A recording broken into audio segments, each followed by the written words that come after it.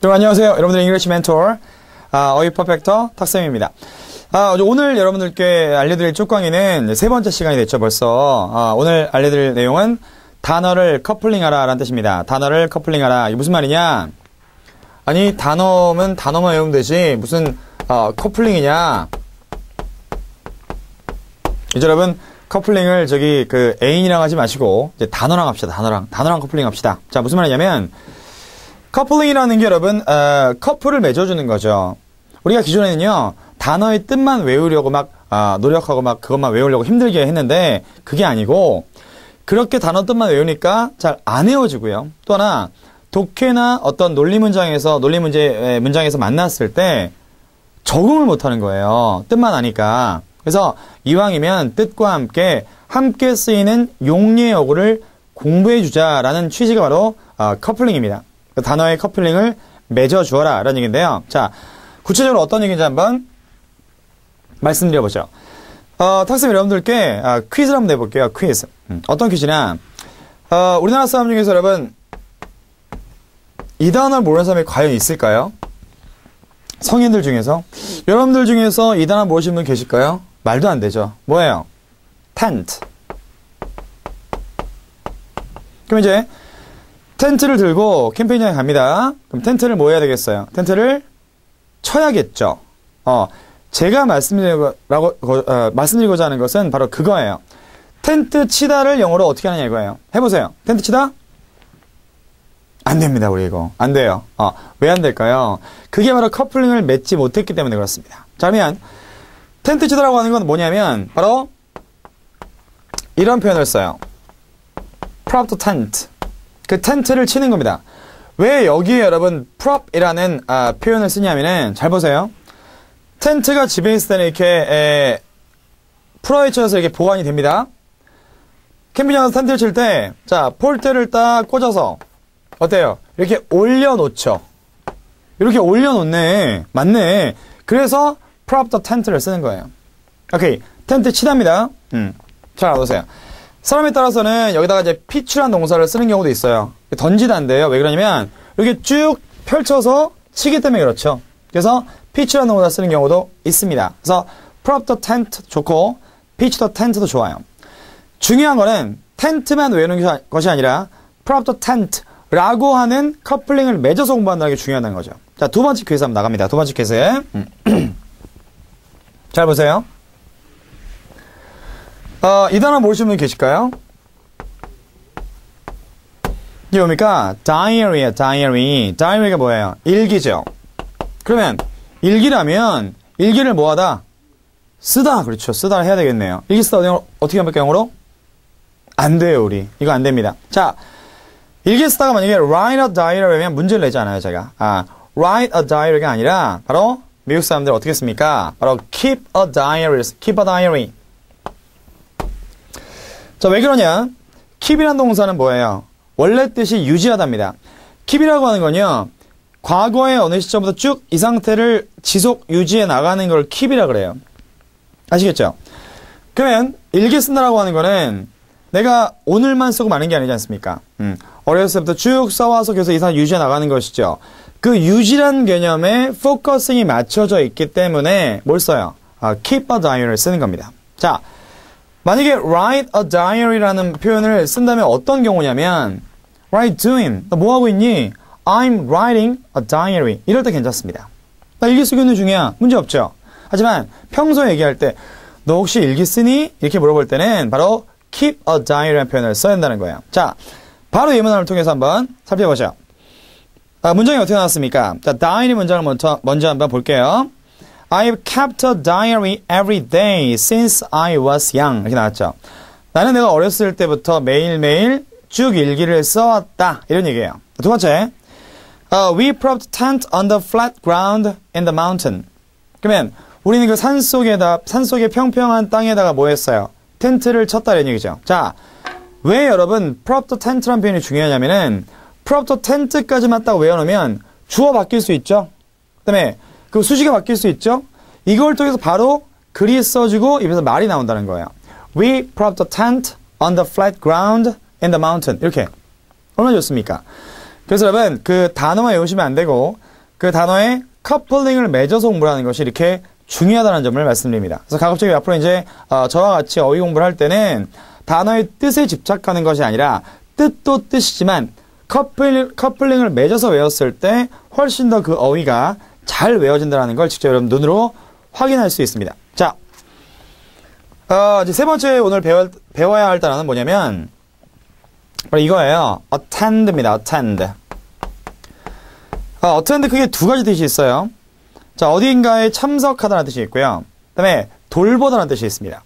음, 원래 어원은 어딘가를 뻗는다는 얘기인데, 자, 이거 그냥 공부하는 것이 아니라, 자, attend a meeting.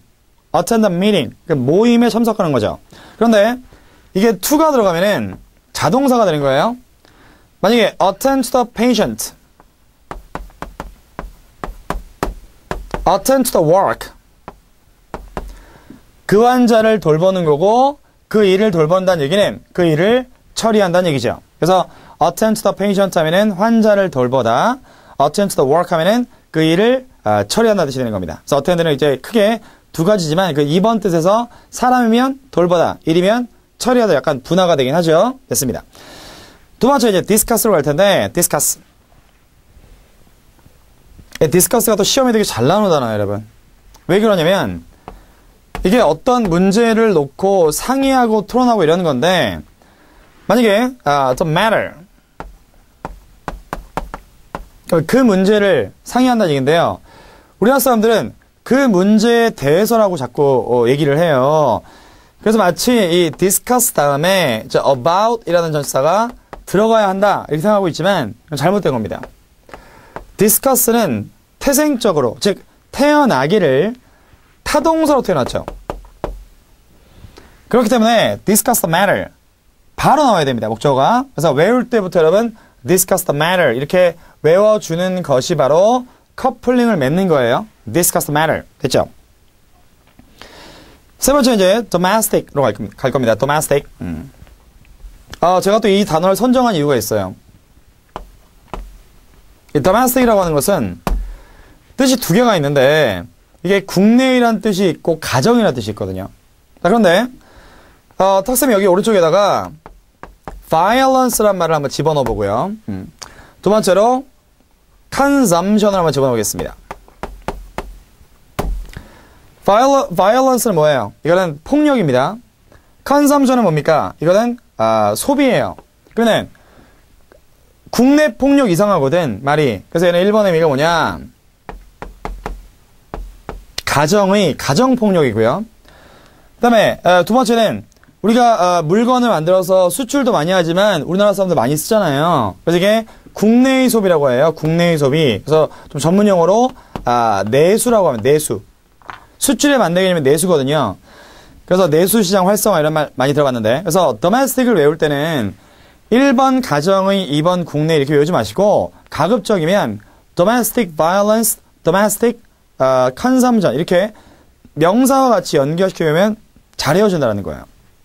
그래서 실제로 그 문장이 또 아, 표현이 독해에 나오게 되니까 아, 처음부터 domestic violence, domestic consumption을 외우는 게 바람직합니다. 다음으로 넘어가죠. 자, 다음에 뭐야? guilty야, guilty. guilty. 음. 여기 guilty라는 단어는요, 제 크게 봤을 때 두 가지의 뜻이 있습니다. 실제로 죄를 저지른 유죄인이 있고요. 어, 뭐, 이게, 쇠고랑 차는 건 아니지만, 마음임 짐이에요. 어, 죄책감이 있습니다. 자, 그런데, 이 guilty 다음에 전치사 of가 붙을 때가 있고요. 또 guilty 다음에 전치사가 about이 붙을 때가 있어요. Guilty of가 붙었을 때 유죄인이고요. guilty about 붙었을 때 죄책감이 드는 겁니다. 자, 문장을 보시면 알겠지만 어떻게 나왔습니까? be guilty of murder. 그럼 이게 살인에 대해서 of니까 유죄고요. be guilty about telling a lie.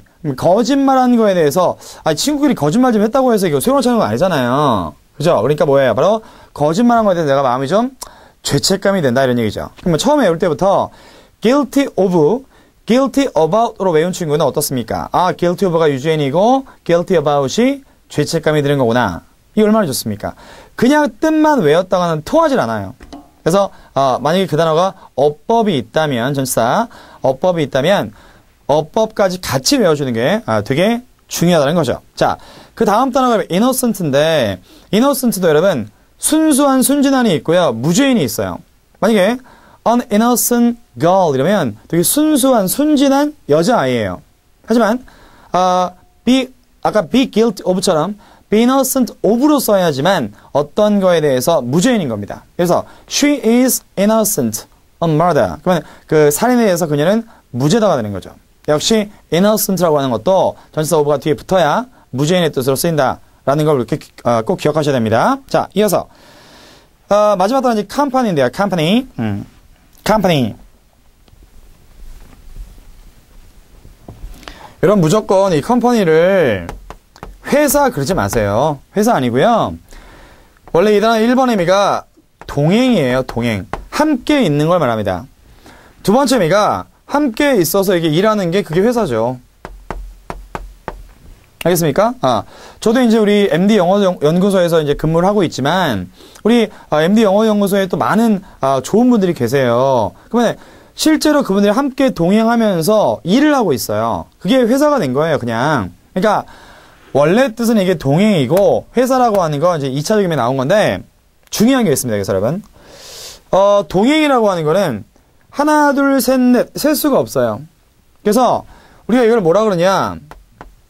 문법에서 이걸 불가산 명사라고 불러요. uncountable. 반면에 회사라고 하는 것은 야 그 사람은 회사를 세 개나 운영해 이렇게 할 수 있거든요. 그래서 요거는 어, 셀수 있죠. 가산 명사답니다. 좀 더 구체적으로 말씀드릴게요. 문장 속에서 만약에 컴퍼니 앞에 관사가 있다. 셀 수 있다는 얘기거든? 이거 회사야. 근데 관사가 없다. 그럼 이게 셀수 없다는 얘기거든? 그럼 동행이에요. 아시겠어요? 되게 중요한 거죠. 자, 명사가 불가산과 가산이 있을 때 관, 관사가 들어있으면 가산 명사라는 얘기거든. 그때 뜻과 관사 떼어냈어. 그냥 단어만 띡 있어. 무관사죠. 이럴 때는 불가산이기 때문에 뜻이 달라집니다. 자, 관사 하나가 있고 없고에 따라서 뜻이 달라진다는 거예요. 다음 문장에서 어떻게 컴퍼니의 뜻이 쓰였는지 한번 맞춰보시죠. 자, I feel comfortable in his company. 이게 문장입니다. I feel comfortable in his company. 무슨 말이냐? 나는 편안함을 느낀다 이거예요. 근데 그의 컴퍼니 안에서 그의 회사 안에서 말도 안 돼.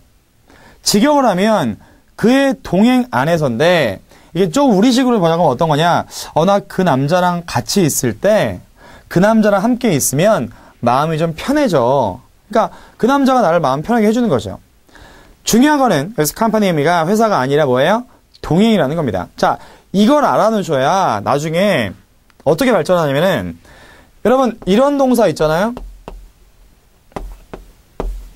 뭡니까? a company 여기 이제 뒤에 뒤에 뭐 her가 나왔다. 그러면 그녀와 동행하는 거죠. 함께 있는 걸 말합니다.